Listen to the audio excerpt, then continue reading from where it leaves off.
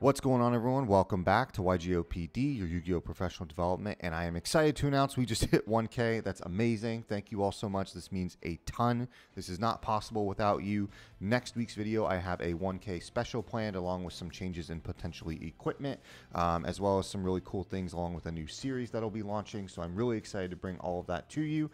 Just wanted to go ahead and give that a heads up and just go ahead and say thank you right now for all of your support. It's really meant a lot. I've been okay and happy with all of this slow growth and having a really amazing community to back me here. This has been a really, really cool thing. So, in honor of that, I wanted to give a retrain to something I brought to the channel a few months ago. This is Kashtira Sword Soul. I've been really thankful to be one of the pioneers on this. If you've seen that build featured on MCall40's channel, that was actually my build. That got the top eight at a local case tournament of mine a couple months ago. I've had the chance to test with it, go back, change some ratios, adjust it a little bit with how the format's evolved, and I wanted to share an updated build and really bring Sword Soul to the forefront of your attention. There's so much that's going to happen along with CYAC when it gets released in about a month, and Sword Soul is going to be one of those decks that's going to go absolutely crazy post that uh, new set with some new support. So before I hop into it, I want to shout out all of our new public subs of the channel. Dr. Drake, E. Curry, Kyle, Displeased, Lieutenant, Gabriel, Arxis, and Card Valor. Thank you all so much for joining the channel. It really means a lot. Continue to smash, continue to help grow the channel. Hit the like button. All that type of engagement really does help me and does help the channel. So with all that said, we'll go ahead and hop right into the main deck. Okay, I will do this in packages, uh, starting with the Sword Soul, then moving into the Kashtira, and then after that, talking a bit about um, just some of the non engine stuff as well. If you're unfamiliar with how Kashtira Sword Soul works, the main idea is you're usually leading with either Unicorn or Fenrir, getting the search off of that, doing all of your Sword Soul play stuff second, and then wrapping up the combo with doing the Kashtira stuff third. It adds an extra layer of interruption and does quite a lot to bait out negates like Ash, Imperm, that kind of stuff before you commit to your Sword Soul line, or bait out quite a bit going second in terms of interruptions and board breaking with the Kashtira again before leading into your Sword Soul. So we have three Ecclesia, pretty straightforward, nothing to say here. An insane starter gets you pretty much any name you want aside from the new Sword Soul that came out in Photon Hypernova. It has to be special summoned by a worm. After that, we are on Triple Moye. This is pretty straightforward. I don't think much needs to be said here. This is the most amazing card for the deck. Gets you a search and a draw when you synchro into Chixiao and helps break boards through cards like Baxia. Triple Longyuan, out of all cards, this is probably one of the best ones you can use for this blend specifically because it allows you to lead into Baron before committing to anything else. Of course, you summon your Kashtira first, then do this into making Baron, and then if you still have names and extenders left, you continue to go from there. Um, so there's a lot you can do with it, but really having this as a way to turn off things like Nib or potential other interruptions you don't like um, is really, really good. And you have a lot of leeway to get away with this deck right now. I think we're still at the edge of that point where Nib is not as crazy crazy in the format. It's still there a little bit, but you can get away with playing a very greedy variant of Sword Soul like this because of that. Um, in line with the greediness. Um, if you've seen my profiles on the channel before, you know I've always been a fan of just one Taia and most Sword Soul variants, except for maybe Virtual World. I really don't think you need more than one. Um, you're doing a lot of searching before you do cards like Desires, and we're not going crazy on those kinds of things, so you can get away with one. And again, Sword Soul is not the main star of the show. It blends uh, kind of 50-50 with the cash stuff as well. And then wrapping it up for the Sword Soul monster names are two of the Abyss Dragon Sword Soul. This card is nuts. Um, if you're not playing this in a cash variant of Sword Soul, you really should be. Um, the fact that you get the interruption off this because you're going to have the field spell up, and this this format right now is super field spell heavy. You have um, rogue decks like Marincess, Traptrix, that kind of thing with their field spells. Kashtira obviously have the field spell. There's just so much on the board. You don't need to necessarily control it, but again, it gives you an extra layer of interruption. And then after that, we play two Tenyi Spirit Vishuda. Um, this is all the Tenyis I'm doing. I originally cut this and then I decided to come back to it. It really does bait out quite a lot. It being an extra seven can help in really niche scenarios. Um, but outside of that, it's really good just again for baiting interruptions, another discard, and allows you to really get value off it, especially in a post nib environment. This deck really tries to focus on a way to play through that too.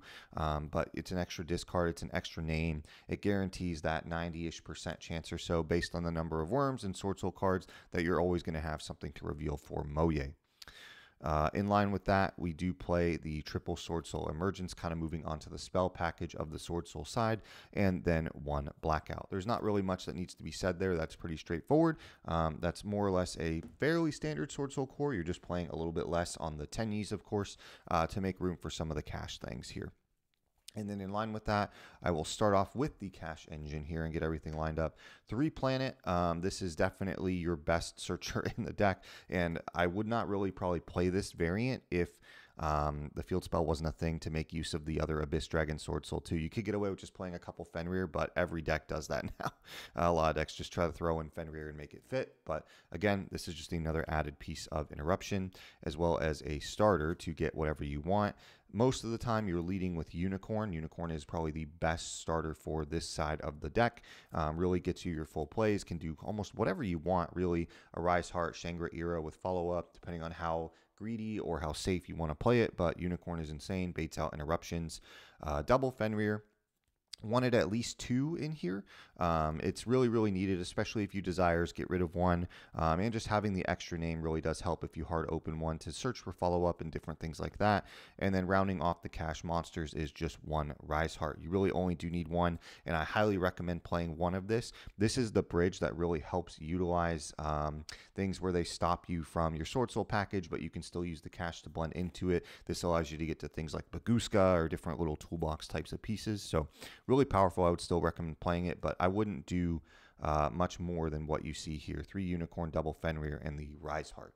Uh, after that, for the cash spells, very straightforward. Um, in addition to the field spell, of course, that I mentioned earlier, is just one Theosis and one Birth. That's really all you need. You're almost always just resolving these once to get through an initial push to make cards like Ira or Arise Heart um, whatever you're doing there. After that, a lot of it is just control with Unicorn, Birth, Fenrir, and just keeping board presence in that way. Um, but that's it for the cash things. You don't need Big Bang. You don't need Scareclaw Kashtira. If you want to play those extenders, you can. Um, but this deck, because of how it kind of plays and you want to see multiple engines, you don't want to see dead cards from each side. You want to see things that are as usable as possible in the moment. And Big Bang can be one of those cards where it feels really, really bad to draw. So I just decided to keep that out and focus more on non-engine and the better cards of each engine. Uh, for the non-engine, starting off with the hand traps here, we have triple ash blossom.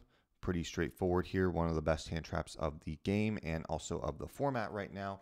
Uh, with branded still being quite a prevalent deck, you really, really do need the three. Uh, does quite a lot. After that, we play triple imperm. Again, probably the six main hand traps of the format right now. Nib is kind of mm, fading its way out a little bit, but maybe coming back into a bit of a resurgence depending on how people respect it for a given event. But that's it for the hand traps triple ash, triple imperm. Imperm is a great tool for going first and going second. And then the rest of the non engine that rounds this deck out at 40 is going to be double tactics, double thrust, and then one pot of desires. Um, you could play a second one. I just have really bad luck with desires of drawing desires off desires, and I really only ever want to resolve it once, especially in cash format where some people can still go for Diablosis. Um, you could play a called by instead of this if you want, but just having this as the target for thrust helps. Uh, you want as many of those ways to get advantage as possible. And again, this deck is focused on if you want to be that greedy to play through Nib, that's why we're on talent, that's why we're on thrust, why we're on desires. A lot of cards that just get you more cards and guarantee you playing. And if not, it's going to be a card like Tactics that's going to rip a card out of your opponent's hand after they've already wasted a hand trap or two to guarantee they can't play so it gets back to your turn.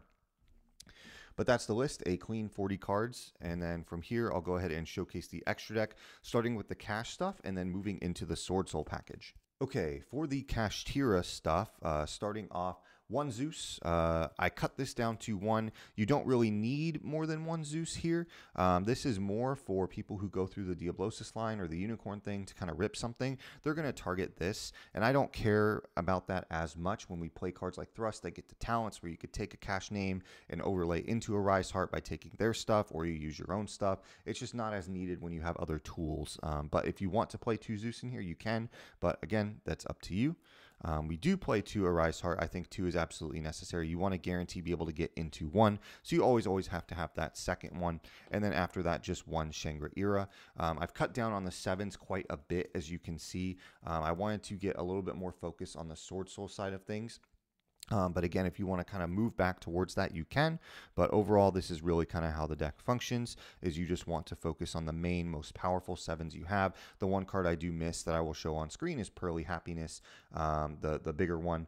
I really like that as kind of a pseudo Dark Ruler in the deck that is searchable. Yes, it can be responded to, but to turn off things that are like untargetable or undestructible and then run over like Dragoon might be a little bit necessary as Branded has started to play that a bit more. So after that, the last Xyz we play is one Bagooska. I kind of hinted at this. Um, this card I just think is an absolute necessity in this deck in particular, and even potentially regular Sword Soul to be able to get a card like Moye and then uh, the Tenyi Spirit Shthana out if you're playing a more pure version to overlay into Bagooska if you have to.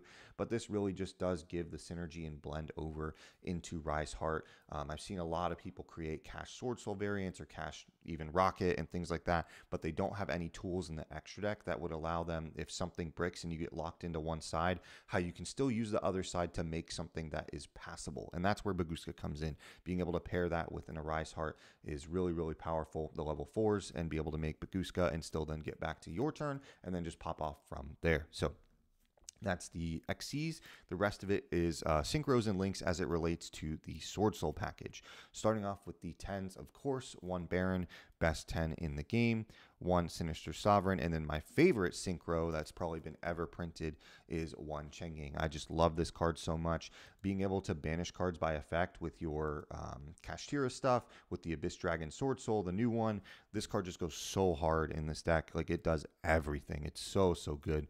Um, really just my favorite card to go into. Um, if I didn't need a negate, it's always this is the 10. You can play the Ice Jade, but I just don't think that's really needed in this variant, especially because you're doing cash. Um, but if you want to experiment with the Ice Jade uh, Gymir, I believe it is, I'll show that on screen. You can as well. Uh, after that, going into the eights, two Chixiao, necessary, again, similar to um, the Arise Heart and the extra, is you want to guarantee get to be able to resolve one, so that's where that comes in. I've bumped up Baxia to two. Um, this has been come from some prior experience. A lot of cash players will typically, if you're not if you're just on pure Sword Soul and you only play the one Baxia, they're going to rip it. Um, that's kind of one of the most threatening cards to them to get rid of things on their board.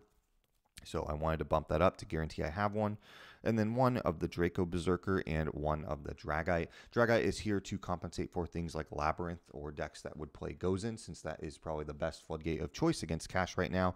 This still gives you a line with a card like Moye to still synchro, draw, and put a little bit of a disruption on the board. And then after that is the one Monk of the Tenyi. You could probably sneak away from playing this if you want, but just because the Vishudas are in here and you have some spare slots in your extra, you can make room for it, and it's still really, really decent. Again, to bait out boards, bait out negates, and then continue playing from there. So that's the updated deck profile for the Kashtira Sword Soul list. If you've never experimented with this, please do it. Um, if you're bored of just playing a Rise Heart Pass and you want something different with your cash engine to do, like I have, I've had a lot of fun with this. It's really, really cool. Does a lot, feels different, feels fresh. Give it a try if you haven't. Thank you again for 1K. That's absolutely insane. I have a lot planned next week new video, new equipment, testing all that kind of stuff, new series, all launches next week. With all that said, thank you all so much for watching. I will see you all in the next one. Later.